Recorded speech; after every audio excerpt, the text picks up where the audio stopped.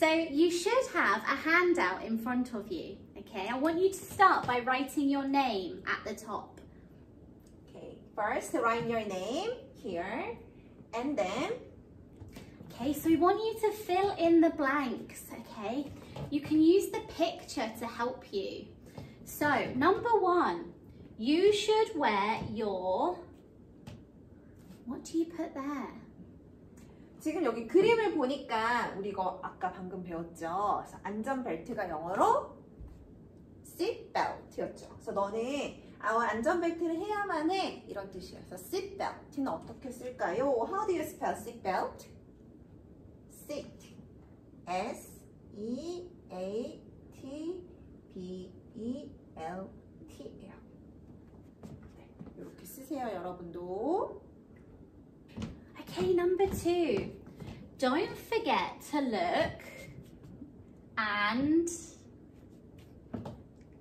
지금 여기 그림을 보니까 이쪽 방향이랑 이쪽 방향을 이제 다 보고 있죠. 그래서 우리가 음, 어, 이렇게 주위를 살필 때 어, 왼쪽이랑 오른쪽이랑 다 봐야 해 또는 보는 걸 잊지 마 이렇게 말하죠. 그래서 don't forget to look 왼쪽과 오른쪽 그쵸? 그래서 왼쪽은 영어로 left L E F T. L-E-F-T and right 오른쪽은 right죠. R I G H T.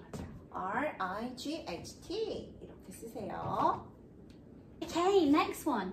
You should use the 이게 뭐죠? What is this? 아까 횡단보도는 선생님이 crosswalk라고 했어요.